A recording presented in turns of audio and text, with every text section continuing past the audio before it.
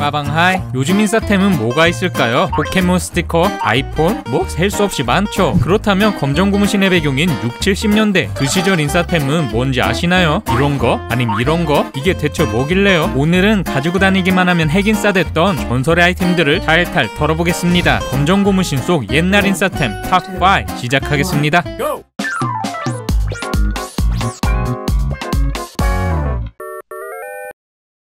검정 고무신에 틈만 나면 나오는 이 아이템. 대체 이거 뭐하는 아이템일까요? 다들 아시다시피 이 물건의 이름은 굴렁쇠입니다. 둥근 원 모양의 철사를 체에 받쳐서 굴리는 놀이인데요. 검정 고무신에 나오는 것처럼 체육대회 종목이기도 했고요. 6, 70년대에는 거의 모든 아이들이 이걸 하고 놀았다고 해도 과언이 아니죠. 노는 방법은 정말 단순합니다. 이 동그란 철을 채로 슉슈르슉슉 굴리는 건데요. 무게중심을 잃지 않으면서 빠르게 달리는 게 포인트이죠. 속도가 좀 느려지거나 각도가 틀리면 바로 놓치게 된다는 뭐 재미 의미는 있어 보이는데요. 굴렁쇠가 국민 아이템이 된 데에는 결정적인 이유가 있었습니다. 어디서나 쉽게 구할 수 있었기 때문 공장에서 만든 장난감이 귀하던 그 시절. 하지만 굴렁쇠는 대부분 공짜. 직접 만들어서 썼으니 돈도 안 들지. 재밌지. 국민 필수템이 될 수밖에 없었죠. 물론 여기에도 인싸 계급이 있습니다. 1단계는 대나무로 만든 굴렁쇠, 술장군, 물장군, 이것도 없으면 분뇨를 담던 똥장군, 오줌장군을 잘라서 만든 겁니다. 그나마 수레바퀴로 만든 굴렁쇠는 놀이에 껴졌죠. 2단계는 철사를 구부려서 만든 굴렁쇠 방과 후에 고철 모아놓은 곳 뒤져서 힘겹게 만든 건데요. 쉽게 고장나는 데다가 잘 굴러가지 않는 게 단점이죠. 이 업그레이드 버전인 3단계 고철 뒤지다가 자전거나 리어카 바퀴를 발견한다? 난리 납니다. 모양도 잘 잡혀있는 데다가 튼튼하니 최고의 재료였죠. 멀쩡한 자전거 바퀴 훔쳐다가 굴렁쇠 만드는 애들도 많았다고. 그리고 최상위 tier 4단계 가게에서 파는 굴렁쇠. 희준이가 가져온 것처럼 마개조까지 한다? 인싸 자리는 따놓은 당상이죠. 이렇게 전국 초딩들의 필수 시스템이었던 굴렁쇠 70년대 후반부터 흙길이 사라지고 도시화되면서 함께 사라졌습니다. 한 번쯤은 해보고 싶은 놀이네요.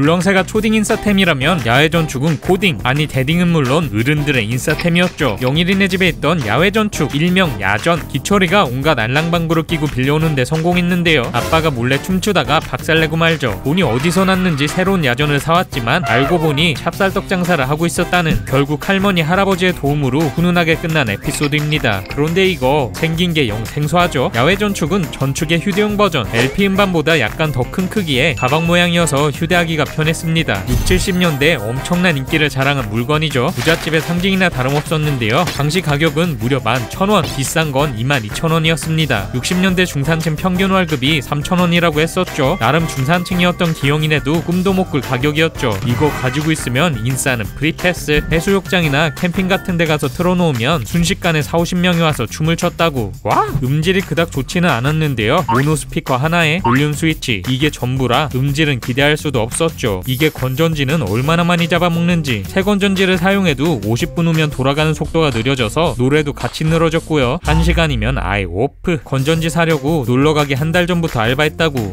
anyway 절대적 인기를 자랑하던 야전 70년대 후반 워크맨의 등장으로 쓸쓸히 사라집니다. 역시 영원한 인싸템은 없네요.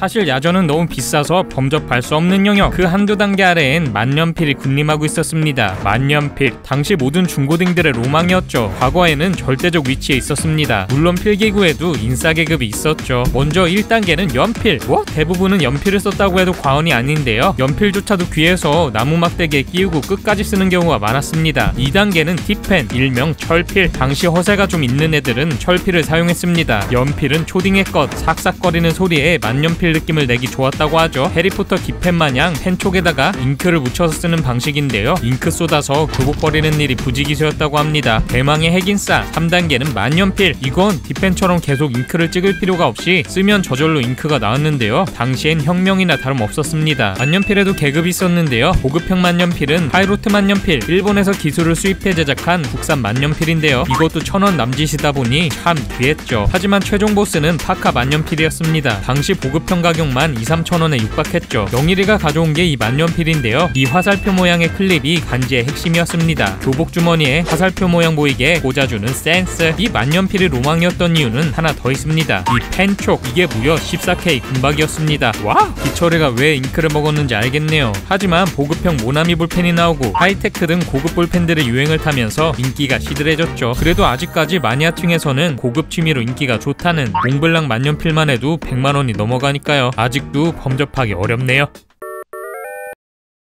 초등계 인싸템은 하나 더 있습니다. 역시나 돈 없이 구할 수 있는 것 딱지. 딱지는 종이로 모서리를 끼워 만든 게 기본 폼인데요. 딱지 한 장을 바닥에 놓고 다른 딱지로 쳐서 뒤집으면 따먹는 딱지치기의 본체이죠. 다 가지고 있는데 뭔 인싸냐고요? 다 가지고 있으니까 계급이 나뉘는 겁니다. 딱지 역시 만드는 사람에 따라 모양이며 성능이며 천차만별이기 때문에 인싸템이 되려면 다분히 노력해야 했죠. 재료도 얼마나 많은지 아세요? 교과서 표지부터 마분지, 달력, 신문지, 공책, 심지어 시멘트 포대 모두 딱지의 재료가 됐습니다. 물론 그냥 좋은 재료를 접는다고 끝나는 건 아닙니다. 인싸가 되려면 마개조를 해야 했는데요. 종이 한 장으로 모자랄 것 같으면 중간에 두세 장 더, 그걸로도 모자르면 철판까지 끼워 넣는 애들도 있었다는 다 만들고는 본드나 테이프로 떡칠을 해서 간단하게 만드는 작업을 거치고요. 최종 단계에서는 딱딱하게 만드는 후작업을 합니다. 계속 밟아주는 건 기본. 자동차 지나가는 곳에 놔둬서 밝게 하는 경우도 허다했죠. 크기도 무조건 크게 만들면 안 됩니다. 정처리처럼 아예 방석 크기로 만드는 애들도 있는데 이러면 아예 게임에 껴주질 않거든요. anyway 여기까지는 서민 단계. 돈 주고 사는 딱지는 이길 수 없었습니다. 바로 캐릭터 딱지. 60년대 최고 인싸템이었는데요. 라분지 외에 군인, 탱크 같은 군대 관련 그림이 그려져 있는 딱지입니다. 이등병부터 별 5개까지 골고루 그려져 있는데 이걸로 화투놀이처럼 노는 게 유행이었죠. 접는 딱지는 비교할 수 없는 대접이었다고. 이후에는 원형 딱지, 고무 딱지, 다양한 딱지들이 등장했는데요. 요즘 애들도 딱지 하나요? 라떼는 말이야. 피카츄 딱지 하나 있으면 아...